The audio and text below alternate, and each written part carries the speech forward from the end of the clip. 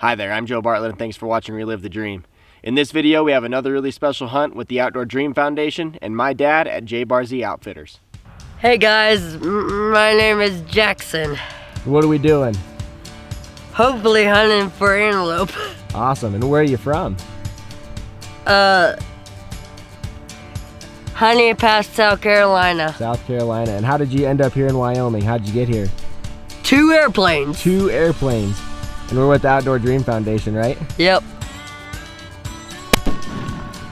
Nice job. Nice job. Good job, buddy. Woo! I was a little bit nervous. Woo, but you did it. How'd that feel? Feel good? Yeah. Awesome.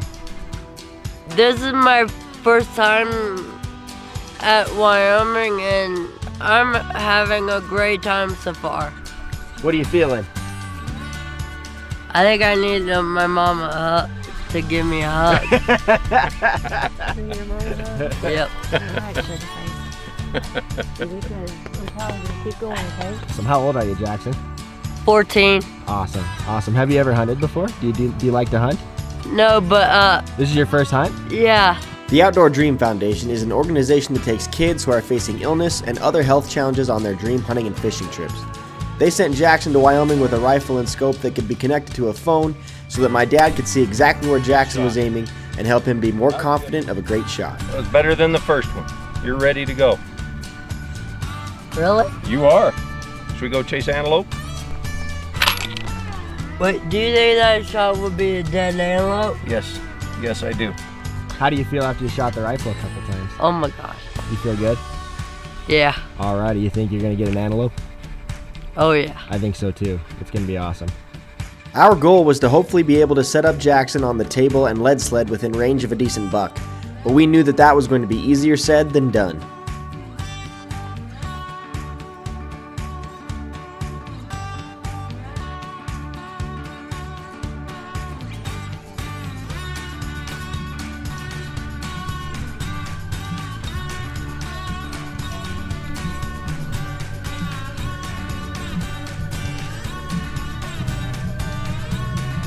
Oh my gosh. What do you think? Wow. so cool. The first time we got set up on a buck was almost perfect, but as soon as Jackson was ready to shoot, the buck had wandered just outside of the distance that we were hoping to shoot. Getting to about even my. What is Right that? at 300. Yeah. So, Getting to be where I would call it. yep, yep. So they're not too worried about us. So what can happen is over there is the road that we come in on, and they're sort of moving that way. So we can go back and look for that one out in the field, and then go back up here and see where these guys are at, because they're heading towards that big They- road. They might be pretty close to there, so. We had several setups go the same way, but later that afternoon, that exact same buck from the first setup was bedded down about 120 yards off a fence line, and we knew that if we could get set up without him getting up, we might just have him.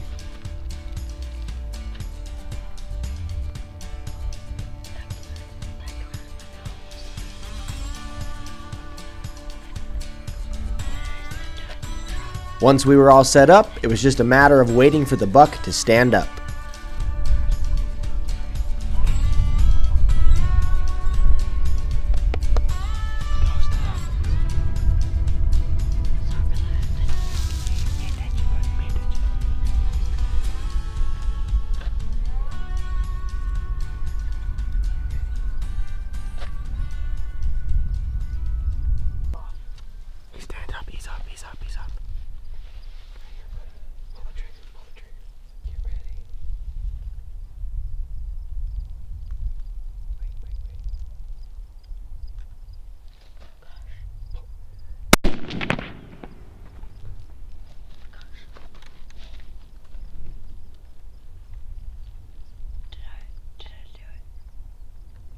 Yep, you got him. He's done. Yes! You got him.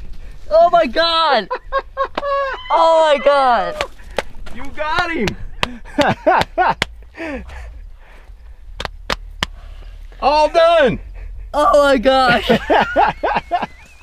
nice job. nice job. How was that? that was awesome. Holy cow, can you believe that? Oh my goodness! Oh my god. Oh my goodness! Oh, oh my god. god. Good job! Yay! Good job! Awesome. oh Boy. man. Boy, you did it. Oh. Oh. Flex your muscles. Whoa! Wait, do you hear my names for them? Sure. I gotta get over there. You're good. Stay right there. What? Stay right there. Go ahead. Record this. Okay, I'm recording. Because it's hilarious. Flippy and floppy.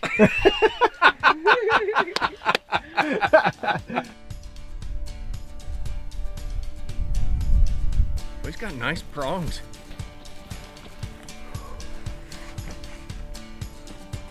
Wow.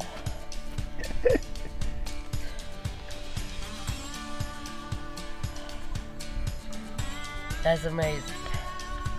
Means if you No way. no. you shot a four-horned antelope. So super rare, but sometimes they'll have these little kind of stub He's got horns on horns. the back. Okay. That's incredible. That's that's the second one I've seen in my life. wow. Ivory tips. Super cool. No way.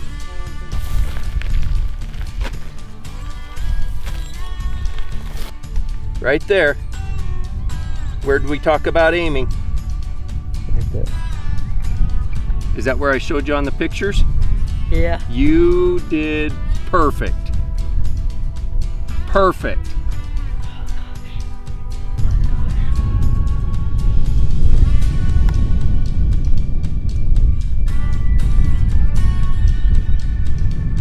That is a very, very nice goat, buddy.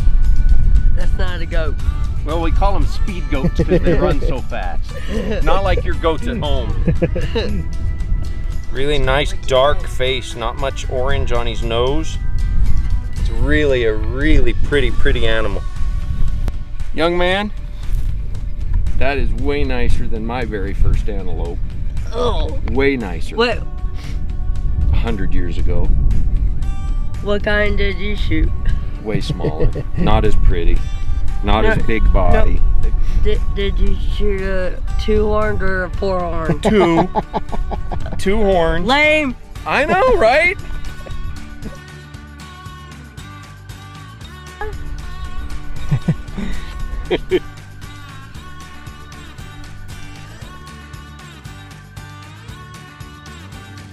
That was my first ever hunt in Wyoming. That's awesome. And your first ever hunt anywhere, right? Yeah, That was your first big game animal. yeah. What did you think about it?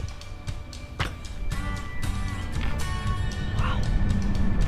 That was crazy. That was crazy. What was your favorite part of it?